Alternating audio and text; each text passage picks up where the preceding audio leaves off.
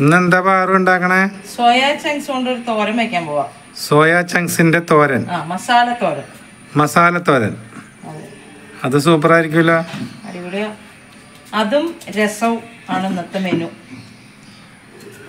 Soya ചങ്ക്സിന്റെ masala തോരനും രസവും. രസം എനിക്ക് മുളകർത്തപ്പുളിയാണ് ഇഷ്ടം. കണ്ണേട്ടന് അത് അത്ര ഇഷ്ടമില്ലാത്തതുകൊണ്ട് നമ്മളത് രസമാക്കി. Okay okay. എന്തുട്ടാ ചെയ്യണേ ഇതൊരു സവാള വലിയ സവാള. തീരെ ചെറുതും അല്ല വലുതും അല്ലാണ്ട് ഒന്ന് നോക്കിയെടുക്കണം. ഓക്കെ. സോയാ ചങ്ക്സ് ചെറിയ അളവിലുള്ള അതായത് എന്താ പറയുക ചെറിയ ചെറിയ ബോളില്ലേ അതാണ്.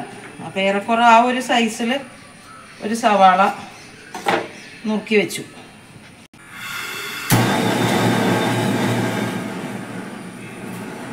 കാറ്റത്ത് കത്തണത് അറിയൂല. ഇത് സോയാ ചങ്ക്സ് ഒന്ന് വേവിക്കണമല്ലോ അപ്പൊ അതിന് വെള്ളം തിളപ്പിക്കാൻ വെച്ചിട്ടുണ്ട്. ഒരു നൂറ് ഗ്രാം എടുത്തിട്ടുള്ളത് ചെറുത്. സോയ ചങ്ക്സ് നൂറ് ഗ്രാം. ചെറിയ ചെറിയ ബോൾസ് എനിക്ക് അതാണ് കൂടുതൽ ഇഷ്ടം. അതാ മറ്റത് അല്ലാണ്ട് വലുതായിട്ട് തോന്നും. മസാല ഒന്നും പിടിക്കാത്ത പോലെ തോന്നും. ആ ഇതിന് എന്തൊക്കെ വേണമെന്ന് പറഞ്ഞില്ല? വെള്ളം തിളക്കട്ടെ. പറയ്. അപ്പൊ എന്തൊക്കെ വേണമെന്ന് വെച്ചാൽ സവാള ഉണ്ട്. സവാള. ആ വെളുത്തുള്ളി പച്ചമുളക് കറിവേപ്പില വെളുത്തുള്ളി പച്ചമുളക് കറിവേപ്പില നാളികേരം. കടുകമുളക് കടുക് മുളക് കുരുമുളക് പൊടി കുരുമുളക് പൊടി മുളക് പൊടി മുളക് പൊടി മഞ്ഞൾപ്പൊടി മഞ്ഞൾപ്പൊടി ഉപ്പ് ഉപ്പ് പെരിഞ്ചീരകം പെരിഞ്ചീരകം വെളിച്ചെണ്ണ. അത്രയും സാധനങ്ങളാണ് വേണ്ടത്. അതെ. കാറ്റടിക്കണ കണ്ടിട്ട് ഇത് കത്തണേന്റെ അളവ് മാറണം. പിന്നെ നമ്മുടെ പ്രിയപ്പെട്ട പ്രധാന സാധനം സോയാ ചങ്ക്സ്. Soya chunks. തിളയ്ക്കുന്ന വെള്ളത്തിലേക്ക്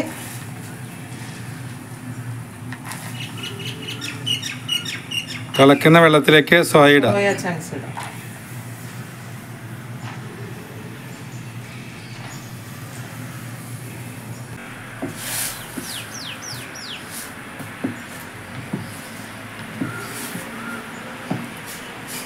ഞാൻ ഇത് ഓഫ് ചെയ്ത് വെച്ചിട്ട് കുറച്ച് നേരമായി അപ്പൊ ഇതിങ്ങനെ കുതിർന്ന് വെന്തൊക്കെ ഇരിക്കുന്നുണ്ട്. ഇനി ഇത് വെള്ളം കളഞ്ഞിട്ട് ഒന്ന് കഴുകി പിഴിഞ്ഞ് എടുക്കണം.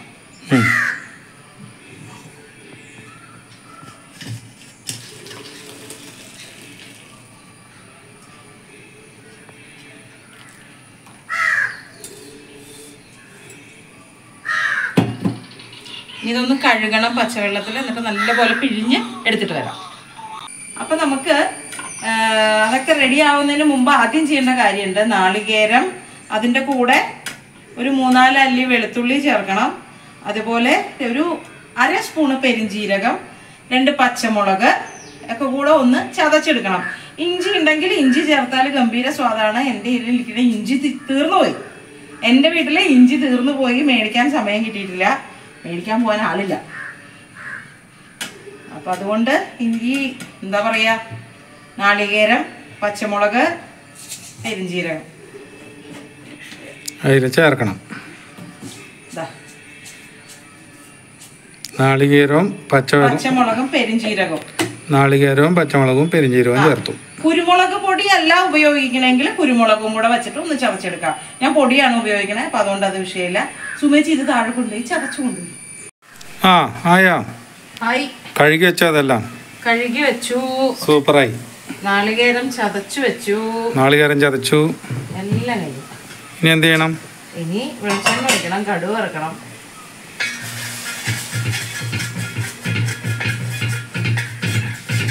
എല്ലാം അടുപ്പിച്ച് വെച്ചിട്ടേ ഈ അടുപ്പ് കത്തിക്കാൻ പറ്റുള്ളൂ. അല്ലെങ്കിൽ പണി പാളും. വെളിച്ചെണ്ണ വയ്ക്കാം വെളിച്ചെണ്ണ.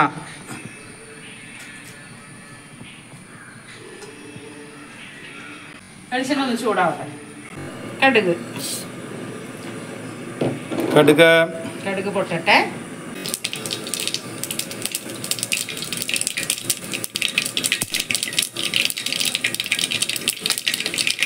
പച്ചമുളക് മുളക് ഉണ്ടമുളക് കറിവേപ്പില. ഇനി ഇതിലേക്ക് നമുക്ക് ഈ ഒരു സവാള നോക്കി വെച്ചത്.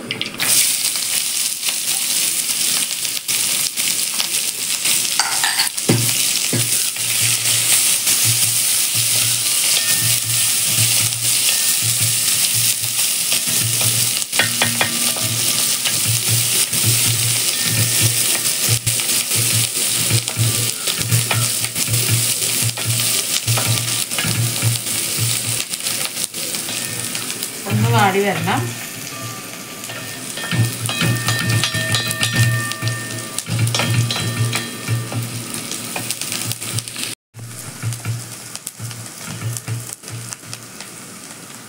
ഈ സമയത്ത് തീ നല്ല പോലെ കുറയ്ക്കണം.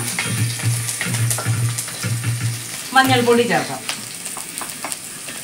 മഞ്ഞൾപ്പൊടി. അതുപോലെ മുളക് പൊടി.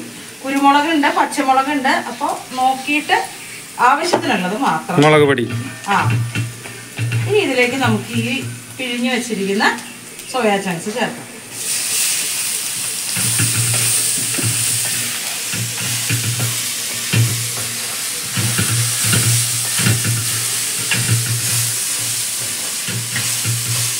ആവശ്യത്തിനുള്ള ഉപ്പ് ചേർക്കാം. ആവശ്യ ആവശ്യത്തിനുള്ള ഉപ്പ്. ഒന്നുകൂടി ഒരല്പം വെള്ളം. ആ മസാലയൊക്കെ ഒന്ന് പിടിക്കാൻ വേണ്ടിയുള്ളത് മാത്രം. ഒരല്പം വെള്ളം. വെളിച്ചെണ്ണയല്ലേട്ടോ വെള്ളം.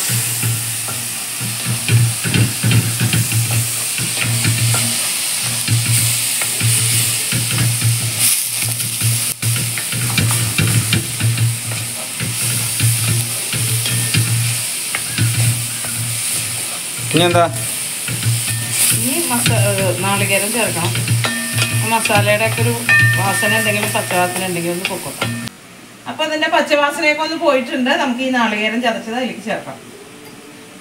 നാളികേരം പെരിഞ്ചീരകം വെളുത്തുള്ളി പച്ചമുളക്. നോക്കിക്കോളേ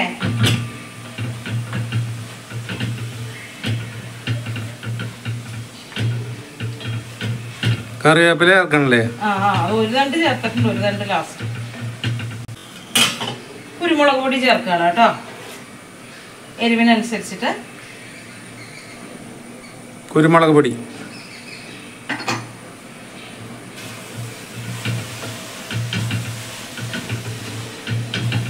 വേവട്ടം. ലാസ്റ്റ് ഒരു തണ്ട് കറിവേപ്പില നമുക്കിതിങ്ങനെ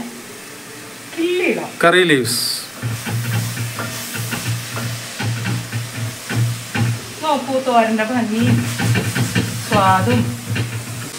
തോരൻ സൂപ്പർ.